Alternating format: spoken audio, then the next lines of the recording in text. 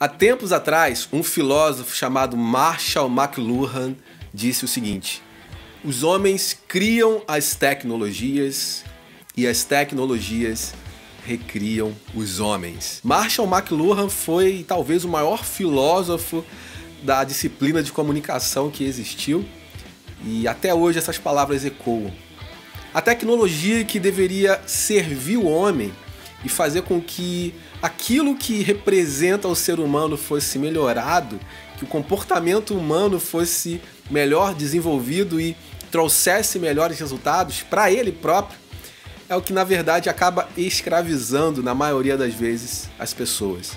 Sabe, não são poucos os músicos que me procuram e quando a gente vai analisar de perto os passos que esse músico já tomou, o que, que ele já fez, quais as atitudes ele tomou em prol da sua própria carreira, cara, a gente fica pasmo. Praticamente ele não fez 1% do que ele deveria ter feito. Quando a gente olha para trás, quando a gente vê bandas da década de 80, da década de 90, a gente nem precisa ir além disso. E a gente compara com as bandas de hoje, muitos vão falar: ah, mas as bandas eram melhores, os artistas eram melhores. Isso é passivo de discussão, a gente não vai entrar nesse mérito. Mas quando a gente vê o que que esses caras fizeram para se tornar os artistas que eles acabaram se tornando, a gente compara, coloca no mes na mesma balança de músicos atuais, a gente vê uma grande disparidade nesse sentido. Sabe, hoje é muito mais fácil você encontrar um músico cômodo com a sua própria realidade, quando na realidade isso tinha que ser diferente justamente por causa da tecnologia que está à disposição dele. A tecnologia acaba conectando pessoas, criando redes, criando laços, e essas conexões, elas naturalmente se formam com pessoas que possuem o mesmo perfil, a mesma realidade. E quando isso acontece, isso é ótimo, mas quando isso acontece, existe o chamado nivelamento. As pessoas acabam se mirando naquelas outras pessoas que estão ao seu redor e acham natural, é normal, é padrão acontecer aquilo que está acontecendo na minha vida.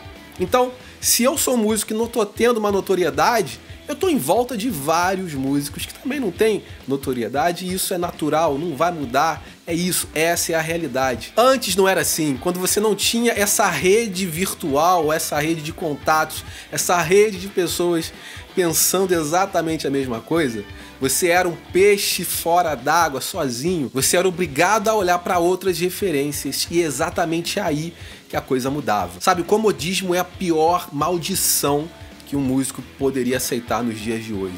Quando você aceita a tua realidade como padrão, quando você encara aquilo que você está vivendo como uma lei fixa, você está praticamente desgraçado. Sabe, se você é um músico profissional, existem coisas que você só vai realmente saber se vai realmente dar certo ou não se você viver. Não dá para antecipar tudo, não dá para chegar no Google e digitar um termo e a partir daquele termo digitado conhecer se aquilo vai dar certo ou não. Existem coisas que você só vai realmente conhecer se você se lançar. É preciso arriscar. Muitas das vezes é preciso se lançar sem saber se ali existe chão, cara. O grande problema é que o comportamento do ser humano hoje é totalmente voltado à prevenção, à sua autoproteção. Será que alguém fez isso e deu certo? Será que alguém já tentou isso daqui, da onde eu estou fazendo e deu certo?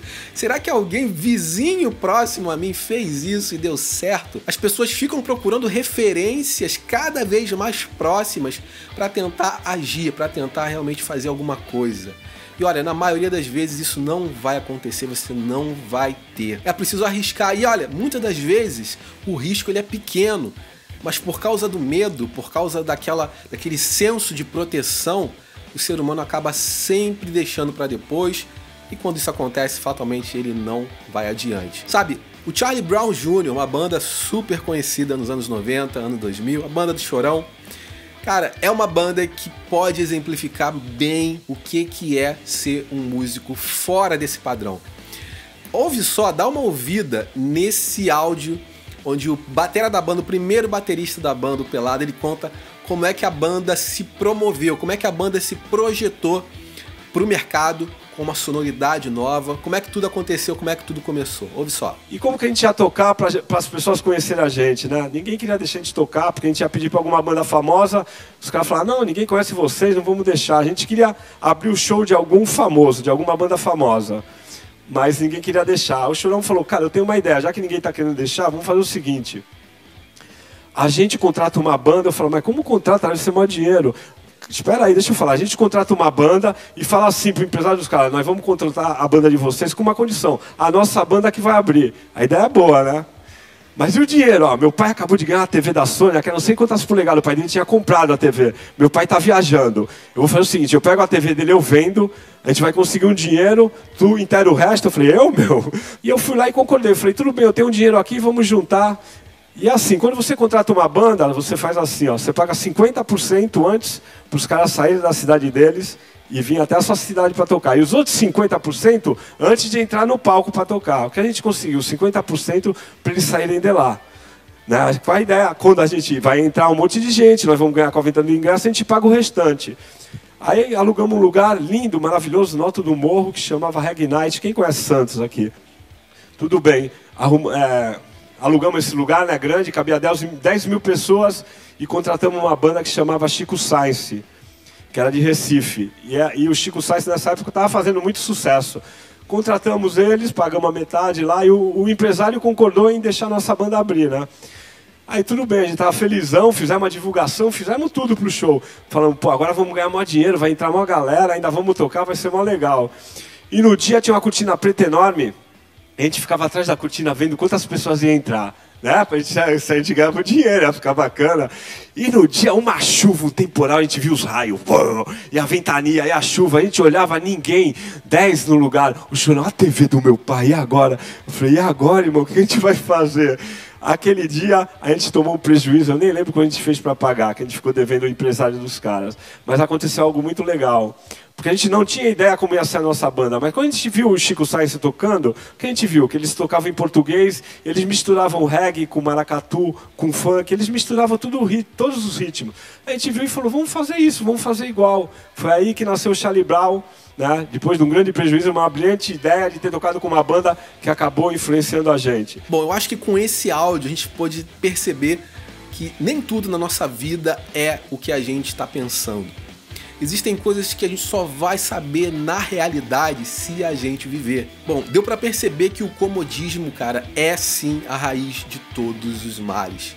Se você quer realmente ter uma carreira, se você alimenta o sonho de fazer da tua arte uma profissão, muito mais ainda você precisa ousar, você precisa se arriscar, você precisa se lançar. Eu prefiro me arrepender de algo que eu fiz do que me arrepender de algo que eu não fiz. A pior coisa para um ser humano é chegar no fim da vida e ter uma lista de coisas que ele gostaria de ter feito. É muito melhor você ter uma lista de erros do que você ter um papel em branco. Certamente uma lista de erros vai te fazer um homem muito mais sábio, muito melhor e muito mais preparado.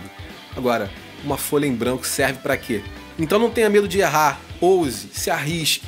Pode ter certeza que sempre, sempre vale a pena. Meu nome é Vinícius Soares e se você gostou desse vídeo, curta esse vídeo. E se você ainda não se inscreveu nesse canal, se inscreva porque toda semana vai ter vídeo aqui como esse. Um abraço forte e eu te vejo em breve. Tchau, tchau.